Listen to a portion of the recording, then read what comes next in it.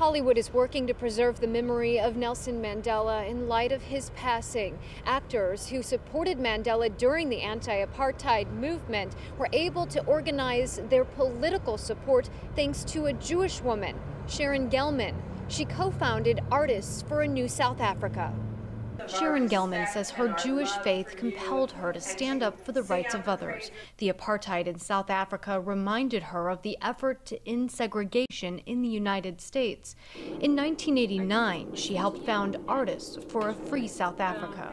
We didn't realize that, you know, probably about a year later, a little bit over a year later, Mr. Mandela would walk free from prison. We, we thought when we were founding the organization that we were going to be teaching our children and our grandchildren to fight apartheid, that this was, we, we, we thought we were going to be in that battle for the long haul. She says many of the white South Africans that joined the anti apartheid movement were Jewish. I feel proud of the fact that you know the Jews were represented there and they, they were doing there were many of them who were doing the right thing. With the apartheid officially over, the organization changed its name to Artists for a New South Africa, and the focus was then on the 1994 elections. So we did all kinds of things. We helped to put together print ads and, and media ads. Gelman says her organization brought a delegation of celebrities to South Africa to help teach the nation how to vote.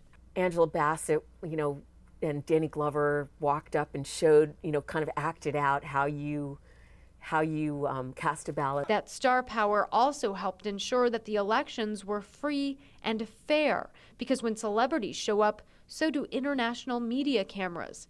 Gelman says it certainly sent a message. The world is watching, and we are going to raise a ruckus if anyone messes with your right to vote. And we're going to make noise if the elections aren't free and fair. We've got your back. When Nelson Mandela's presidency ended, Artists for a New South Africa shifted its focus to poverty, education, and HIV/AIDS. Year after year, Artists for a New South Africa sent delegations to the country.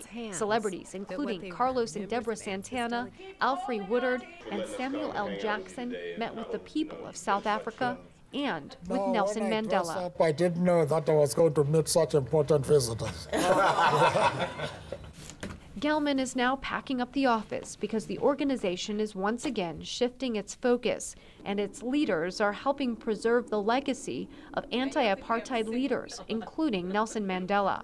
We want to make sure people understand that this that Mr. Mandela and his comrades and his colleagues were human beings who paid enormous prices for what they achieved.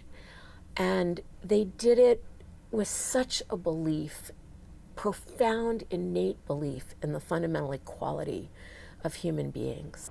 Gelman believes the legend Nelson Mandela will be remembered for hundreds, perhaps thousands of years. Her organization is working to preserve his memory accurately so future generations can appreciate Mandela and the anti apartheid struggle.